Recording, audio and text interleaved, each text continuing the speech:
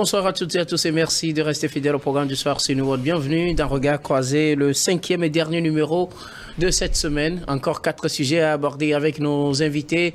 Nous parlerons d'abord du Niger, arrivée d'instructeurs et matériel militaire russe. Notre deuxième sujet concerne le Mali l'ONU exhorte le gouvernement à abroger immédiatement la suspension des activités des partis politiques. Troisième sujet, nous prenons la direction du Gabon, le président de la transition en visite officielle en Côte d'Ivoire nous terminerons bien évidemment par le Togo, une délégation de l'opposition reçue par la CEDEAO. Et pour en parler ce soir, trois invités sur ce plateau. Avec moi, Sylvestre Béni, vous êtes journaliste, directeur de publication du journal La Manchette. Bonsoir Sylvestre et bienvenue. Oui, bonsoir Dr Guillaume et bonsoir à toutes et à tous. À côté de vous, Eric Johnson, vous êtes également journaliste, directeur de publication du journal L'Union. Bonsoir Eric et bienvenue. Bonsoir Guillaume, euh, bonsoir chers collègues, bonsoir chers amis téléspectatrices et téléspectateurs de New World TV. Et notre troisième invité ce soir, Constant Lemou, vous êtes analyste politique. Bonsoir Constant et bienvenue. Bonsoir Guillaume, bonsoir à mes co-débatteurs et bonsoir à tous ceux qui nous écoutent. Mhm. C'est un plaisir de partager. Alors, avec vous, nous abordons notre euh, premier sujet. Nous prenons la direction du Niger pour parler de cette arrivée euh, d'instructeurs et de matériel militaire russe. On savons que le Niger s'est engagé dans la lutte contre euh, le terrorisme et c'est depuis, hein, avant même le coup d'État, mais cette lutte s'est renforcée avec les nouveaux dirigeants militaires de ce pays qui, en l'instar des autres pays en coup d'État, Mali, Burkina, acquièrent du matériel militaire. On annonce l'arrivée d'instructeurs militaires russes et aussi du matériel pour faire face aux terroristes. Je commence par vous, Constant Lemou. On voit l'exemple hein, euh, au Burkina, au Mali, le Niger suit des instructeurs russes qui sont sur le terrain, peut-être pour former les, militaires à l'usage du matériel qui vient de leur être livré. Euh, oui, les pays du Sahel ont été confrontés à ce, ce phénomène de terrorisme avec euh, des assassinats de, paisibles populations depuis 2012. Euh, il nous en souvient, il y a eu plusieurs missions militaires pour aider ces pays à faire face à ce phénomène. Euh, sauf que pendant 12 ans, rien n'y fut fait, aucun résultat sur le terrain. le constat était que tous ces pays confrontés au terrorisme euh, n'avaient pris individuellement, euh, ces pays n'avaient pas euh, l'armée nécessaire, les équipements et les ressources humaines compétentes pour faire face à, ce phénomène. ce qui montre que depuis les indépendances jusqu'à ce jour, eh bien, ces pays qui supposaient être accompagnés par euh, les pays occidentaux, anciennes colonies de, ces pays, eh bien, n'ont jamais été accompagnés vers le développement, vers la souveraineté, vers l'autodétermination. Je pense que les trois pays de Sahel, à un moment donné, euh, ont décidé de prendre leur destin en main et de former une armée digne de ce nom équipée. Euh, il nous en souvient également que pendant cette crise euh, où les militaires avaient de la peine à faire face euh, aux attaques terroristes. Même les gouvernements commandent l'armement et se confrontent, euh, ils font face à l'opposition, au refus de ces pays qui sont censés les accompagner. de sorte que toutes les armées des, des trois pays surtout se voyaient complètement affaiblies. Alors, il faut chercher d'autres partenaires avec qui coopérer pour faire face au phénomène. Si ce phénomène n'a pas été préparé, euh, prétendent venir les aider à combattre ce phénomène. Il est bien surprenant que toutes les armées, les meilleures armées du monde, réunies au Sahel, euh, ne sont pas en mesure d'éradiquer le terrorisme. Et plutôt, le terrorisme euh, prend de l'ampleur.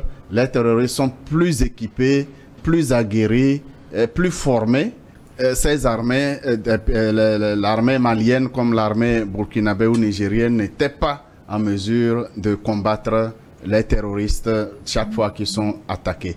Alors, chose normale, les, militaires ont décidé de prendre leurs responsabilités dans leur mission de protection et de sécurisation de l'ensemble de leur pays. Alors, ils ont pris d'abord le, le pouvoir, même si c'est un, renverse- un renversement de l'ordre constitutionnel, eh bien, il fallait quand même sauver le pays, se protéger les populations. C'est dans cette dynamique et dans cette solidarité, eh bien, ils ont mis en place une coopération sous-régionale qu'ils appellent l'AES. Et euh, ils se sont orientés donc vers de nouveaux partenaires, dont la Russie, qui est déjà présente au Mali, qui soutient le Burkina et aujourd'hui formellement euh, et le matériel et les instructeurs euh, russes sont arrivés pour appuyer l'armée nigérienne pour les mêmes missions. Rappelons que euh, mi-mars, si j'ai bonne mémoire, euh, l'armée américaine qui était présente ou qui est encore présente dans, sur le, le territoire nigérien à, à hauteur d'Agadez, ces autorités ont décidé de revoir les accords ou du moins dénoncer ces accords de sorte que euh, l'armée nigérienne ou les autorités nigériennes puissent prendre leur destin en main, la responsabilité entière et c'est ce qui justifie l'arrivée de ces armements et les instructeurs euh, russes qui vont désormais accompagner l'armée nigérienne qui doit faire face nécessairement euh, à la nébuleuse que nous avons appelée le djihadisme. Alors, euh, la Russie ou la Fédération de Russie, elle se dit prête à doter le Niger euh, et, et installer un système de défense antiaérien capable d'assurer le contrôle total de l'espace aérien nigérien. Des instructeurs militaires russes sont arrivés ce mercredi euh, 10 avril, de même que du matériel fourni au Niger à la suite des accords de coopération signés entre les deux pays pour pouvoir permettre au Niger de faire face au terrorisme, Sylvestre. Oui, je crois que c'est la meilleure chose euh, qui, soit arrivée aujourd'hui au, au Niger. Et donc, euh, lorsque vous, vous regardez donc, euh, dans la maison d'à côté ce qu'il est faire de mieux, je crois qu'il est lucide hein, donc de, faire comme. Aujourd'hui, le, Niger subit donc les, mêmes affres ou, les, euh, la même situation que le, Mali. Et donc, euh, le Mali qui est resté pendant 10 ans sous, cette nébuleuse, c'est vrai que c'est pas euh, totalement donc euh, éradiqué ou, fini. Mais ils ont fait confiance donc au, au- au qui est donc la France qui est resté là pendant des années et qui n'ont pas su aider donc le Mali à, booster hors donc cette nébuleuse qu'est le, qu'est le terrorisme le djihadisme selon. Euh, ils, ont, ils, sont, ils sont tournés dans- vers la Russie et ça, ça a marché.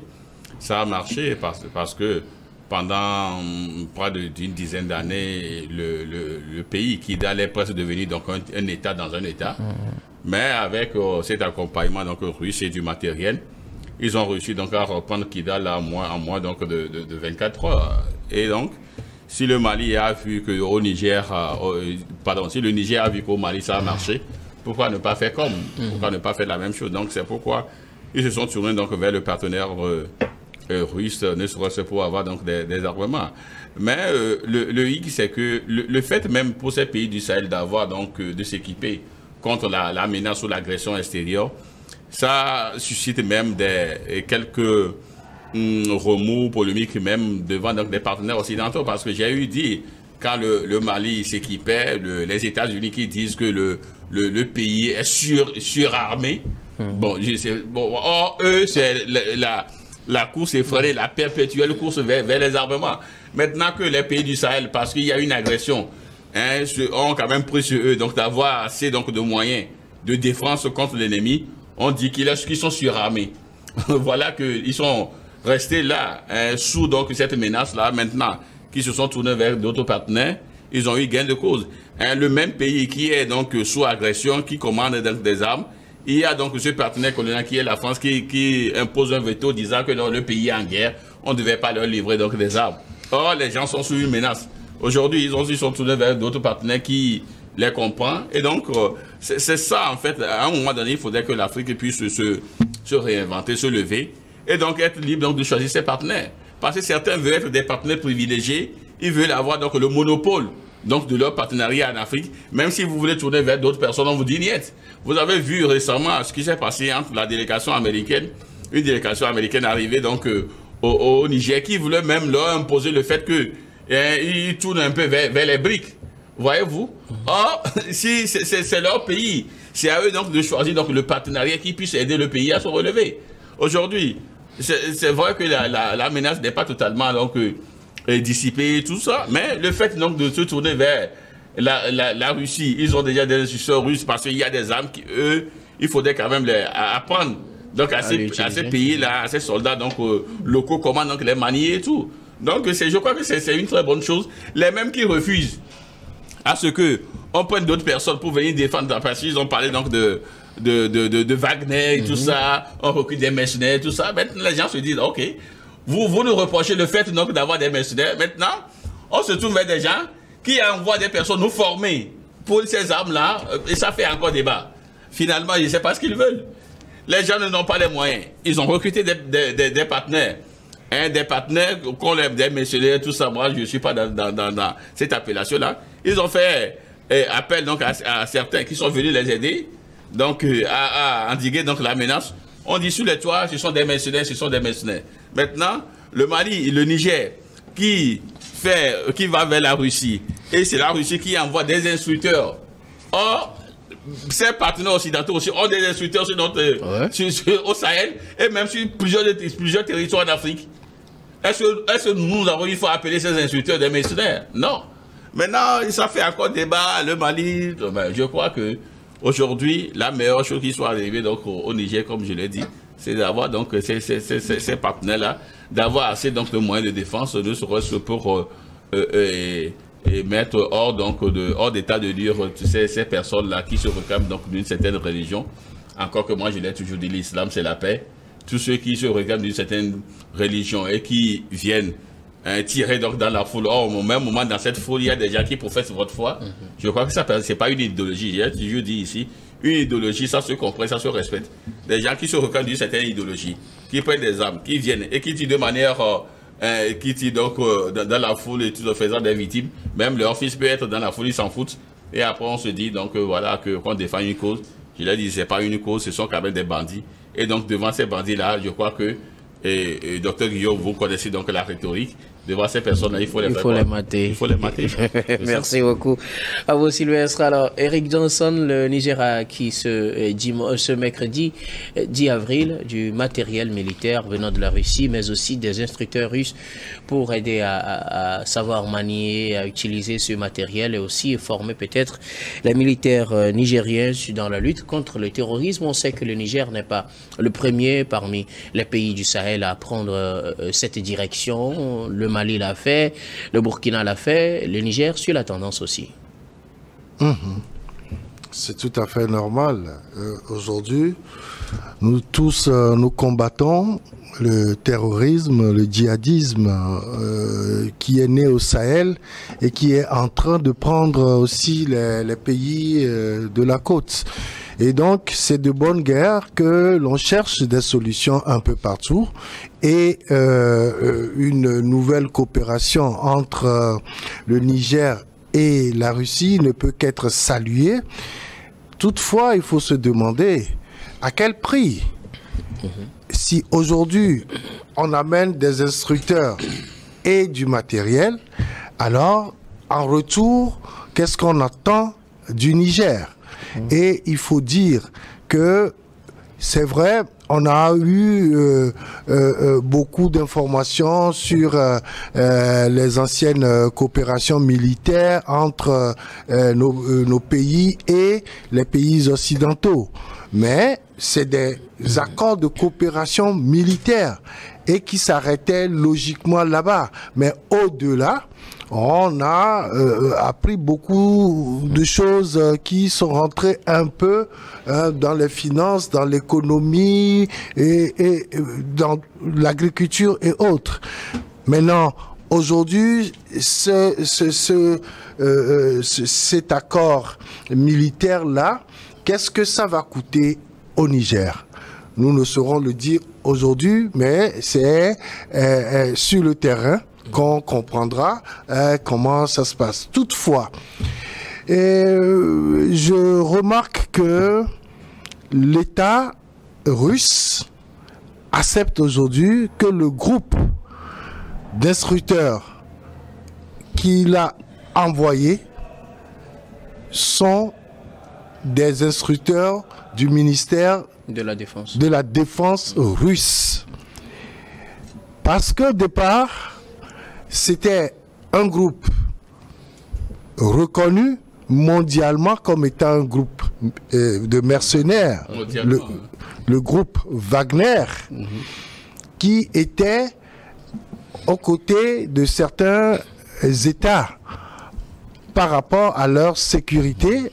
On les a vus euh, en Centrafrique, on les a vus un peu euh, euh, en Afrique du Sud, on les a vus euh, depuis 2020 au Mali, au Burkina, etc. Et donc, aujourd'hui, ce groupe-là n'existe pratiquement plus. Et donc,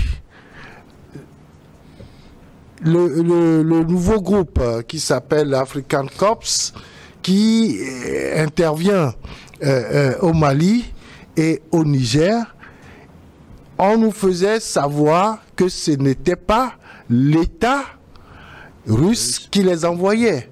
Mais aujourd'hui, officiellement, on a reconnu que African Corps est un euh, groupe d'instructeurs, de militaires euh, du ministère de la Défense russe. Ça, c'est une très bonne chose parce que si on doit faire une coopération militaire avec un État, qu'on le fasse en bonne et due forme et non avec des groupes de mercenaires qui, à la fin, euh, euh, euh, cherchent à, s'enrichir et pillent également nos pays.